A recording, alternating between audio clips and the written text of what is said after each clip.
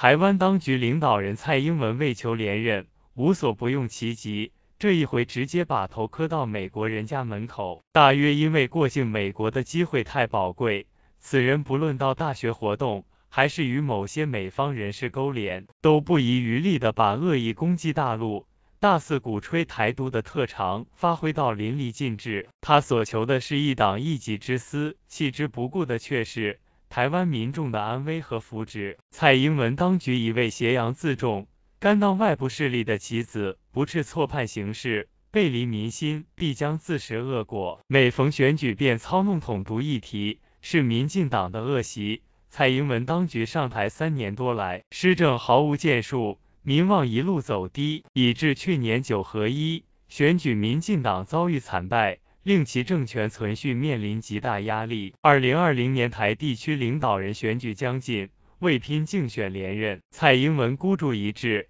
加快靠拢台独势力，企图以加剧两岸对立招纳支持者。适逢美国出于自身利益，近来频打台湾牌，妄图以台制华，蔡英文更是兴奋异常，仿佛抓到救命稻草。从中美贸易摩擦发生后，迅速跳出来禁止岛内企业采购大陆相关产品，到主动将北美事务协调委员会更名为台湾美国事务委员会。从上台以来，先后四次共耗费逾四十亿美元。向美国买武器交保护费，到对美国炮制有台法案喜形于色，感激涕零，以美谋独，对抗大陆的嘴脸暴露无遗。此次过境美国，蔡英文使出浑身解数大搞台独苦肉计，将大陆造福台湾同胞的善意和诚意统统屏蔽，对大陆持续推动两岸交流合作为台湾民众带来。实实在在的好处绝口不提，用充斥谎言恶语的台独脚本，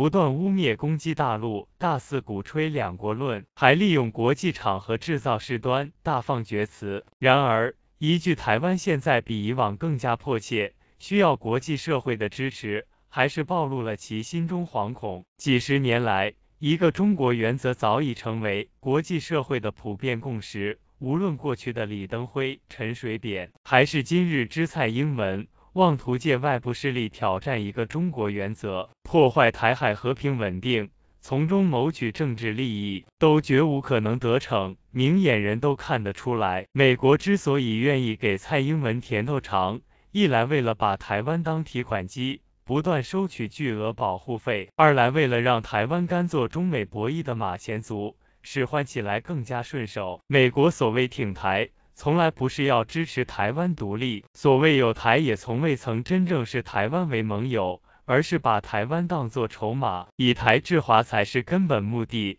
蔡英文当局一厢情愿地卖力迎合美方，拿台湾民生福祉当自己拼选举的赌注，用台湾百姓的血汗钱给自己交保护费。如何看待民进党的谋算和操弄？如何选择台湾的前途和命运？相信台湾人民自有定论。台海和平稳定事关两岸同胞安危福祉，事关中国核心利益，事关包括台湾同胞在内全体中国人民的民族感情。任何势力都不要低估中国捍卫国家领土和主权完整的决心和能力。蔡英文当局意图在国际上制造两个中国一中一台。台湾独立的谋算绝不会得逞，任何挟洋自重、破坏两岸关系的行径，都将自食恶果。我们也要奉劝美方，不要在涉台问题上玩火，不要向台独势力发出任何错误信号，而应当信守承诺，